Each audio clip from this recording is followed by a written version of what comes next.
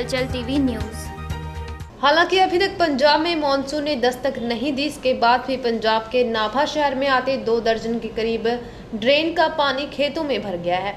पानी भरने से किसानों की तरफ़ से लगाए गए धान की फ़सल बिल्कुल बर्बाद हो चुकी है और कई गाँवों में पशुओं के लिए चारा भी नहीं बचा।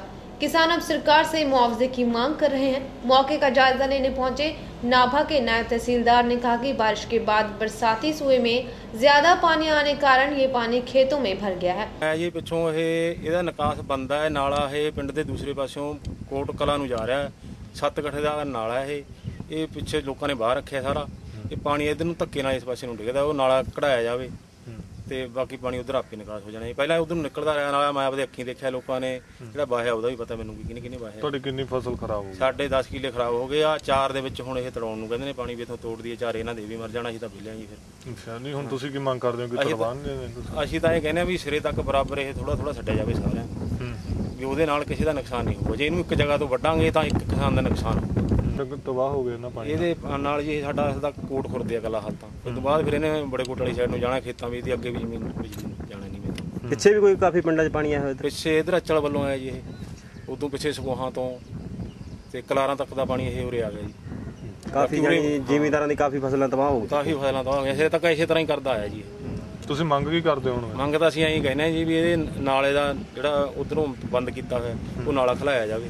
ਪਾਣੀ ਅੱਗੇ ਵਾਸਤੇ ਸਾਡਾ ਨੁਕਸਾਨ ਨਾ ਹੋਵੇ ਕਿਉਂਕਿ ਬਾਰਿਸ਼ ਅੱਗੇ ਵੀ ਆਉਣੀ ਹਾਲ ਤਾਂ ਸ਼ੁਰੂ ਹੋਇਆ ਜੀ ਕੰਮ। ਵੀ ਅੱਗੇ ਵਾਸਤੇ ਨੁਕਸਾਨ ਨਾ ਹੋਵੇ ਤੇ ਬਾਕੀ ਇਹ ਵੰਡ ਕੇ ਪਾਣੀ ਕੱਢਿਆ ਜਾਵੇ। ਆਹੀ ਸਾਡੀ ਆਪਣੇ ਪਿੰਡ ਦੇ ਪਹਿਲੇ ਪਾਸੇ ਦੀ ਨਾਲਾ ਲੱਗਿਆ ਹੋਇਆ ਜੀ ਉਹ ਨਾਲਾ ਇਸ ਟਾਈਮ ਬੰਦ ਹੈ ਨਾਲਾ ਖਲਵਾਇਆ ਜਾਵੇ ਜੀ। ਜੋ ਪਾਣੀ ਹੈ ਇਧਰ ਪਾਣੀ ਨਾ ਆਵੇ ਅਭੀ ਤਾਂ ਸ਼ੁਰੂਆਤ ਹੋਈ ਹੈ। ਅੱਗਾ ਅੱਗੇ ਆਊਗਾ ਜੇ ਪਾਣੀ ਨੁਕਸਾਨ ਬਹੁਤ ਜ਼ਿਆਦਾ ਹੋ ਜਾਣਾ ਪਹਿਲਾਂ 10 ਕਿੱਲੇ ਸਾਡੇ ਉਹ ਡੁੱਬ ਚੁੱਕੇ ਜੀ। ਉਸ ਤੋਂ ਬਾਅਦ ਜੇ ਪਾਣੀ ਟੁੱਟੂਗਾ ਤਾਂ ਸਾਡੇ 4 ਕਿੱਲੇ ਇਹ ਵੀ ਮਰ ਜਾਣੇ। ਕਿਉਂ ਪਾਣੀ ਟੁੱਟਣ ਨਾਲ ਇੰਨਾ ਬੰਨ ਬਹਿ ਜਾਣਾ ਤੇ ਅੱਧਾ ਕਿੱਲਾ ਸਾਡਾ ਖਰਾਬ ਹੋ ਜਾਊਗਾ 2 ਕਿੱਲੇ ਖਰਾਬ ਹੋ ਜਾਣਾ ਮਤਲਬ ਘੱਟੋ ਘੱਟ। ਹੁਣ ਤੁਹਾਡੀ ਕਿੰਨੀ ਫਸਲ ਖਰਾਬ ਹੋ ਗਈ ਆ? ਹੁਣ ਕ- ਸਾਡੀ ਘੱਟੋ ਘੱਟ ਜੀ ਵਿੱਚੇ ਸਾਰੇ ਬੰਦਿਆਂ ਦਾ 100 ਕਿੱਲਾ ਖਰਾਬ ਹੋ ਚੁੱਕਿਆ ਜੀ। ਅੱਛਾ ਇਹ ਪਾਣੀ ਕਿੱਥੋਂ ਪਿੱਛੋਂ ਕਿੱਥੋਂ ਆਇਆ ਪਾਣੀ ਪਿੱਛੋਂ ਜੀ ਇਹ? ਸਕੋਹਾਂ ਤੋਂ? ਅਚਲ ਤੋਂ ਜੀ ਸਕੋਹਾਂ ਤੋਂ ਪਿੱਛੇ ਹੁੰਦਾ ਹੈ। ਸਾਰੇ ਇੱਧਰ ਆ ਰਿਹਾ ਜੀ ਇਹ। ਅੱਛਾ ਕਿੰਨੇ ਦਾ ਜੀਰੀ ਤਾਂ ਜੀ ਘੱਟੋ ਘੱਟ ਸਾਡਾ ਸ- ਜਿਹੜਾ ਹੈਗਾ ਇਹ 10-15 ਲੱਖ ਦਾ ਸਮ- ਹੋ ਚੁੱਕਿਆ ਜੀ। ਵਿੱਚੇ ਸਾਰੀ ਜੀਰੀ ਡੁੱਬੀ ਹੈ ਜੀ। ਹਾਂ, 15 ਲੱਖ ਤਾਂ ਹੋਊਗਾ ਜੀ ਘੱਟੋ ਘੱਟ। 15 20 ਲੱਖ ਲਾ ਲਓ ਜੀ। ਇਹ ਕਿੰਨੇ ਪਿੰਡ ਲਪੇਟ ਚ ਵਿੱਚ ਆ ਗਏ ਇਹਦੇ ਪਾਣੀ ਦੇ? ਪ੍ਰਸ਼ਾਸਨ ਵੱਲੋਂ ਕੀ ਪੁਖਤਾ ਪ੍ਰਬੰਧ ਕੀਤਾ? ਇਹ ਬਰਸਾਤੀ ਪਾਣੀ ਸੀ ਕੁਦਰਤੀ ਪਾਣੀ ਜਿਹੜੀ ਪਰਸੋਂ ਬਾਰਿਸ਼ ਹੋਈ ਹੈ ਨਾ ਉਹ ਜ਼ਿਆਦਾ ਬਾਰਿਸ਼ ਹੋਣ ਕਰਕੇ ਪਿੱਛੋਂ ਪਾਣੀ ਆ ਕੇ ਉਰੇ ਇਕੱਠਾ ਹੋ ਗਿਆ। ਉਹਦੇ ਵੱਲੋਂ ਹੁਣ ਪ੍ਰਸ਼ਾਸਨ ਨੇ ਲੋਕਾਂ ਦੇ ਸਹਿਯੋਗ ਨਾਲ ਸਰਪੰਚ ਨਾਲ ਪੁਲਿਸ ਪ੍ਰਸ਼ਾਸਨ ਲੈ ਕੇ ਸਾਰੇ ਬੰਦੇ ਸੋ ਪਾਣੀ ਦਾ ਉਹ ਕਢਵਾ ਰਹੇ ਆ ਸੈੱਟ ਕਰਾ ਰਹੇ ਆ ਤਾਂ ਕਿ ਕਿਸੇ ਬੰਦੇ ਨੂੰ ਕੋਈ ਦਿੱਕਤ ਨਾ ਆਵੇ। ਕਿੰਨੇ ਸਰ ਕਿੰਨੇ ਪਿੰਡ ਇਹਨਾਂ ਤਬਾਹ ਹੋ ਗਏ?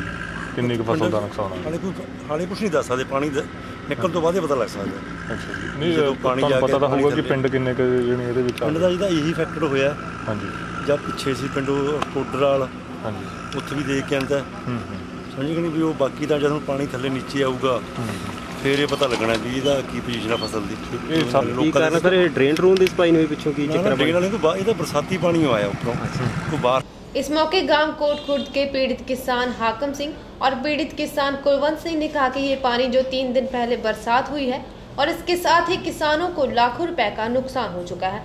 उन्होंने सरकार से फ़सल के नुकसान के मुआवजे की मांग की है। नाभा से हलचल टीवी के लिए कुलदीप सिंह की रिपोर्ट। आप देख रहे हैं हलचल टीवी न्यूज़।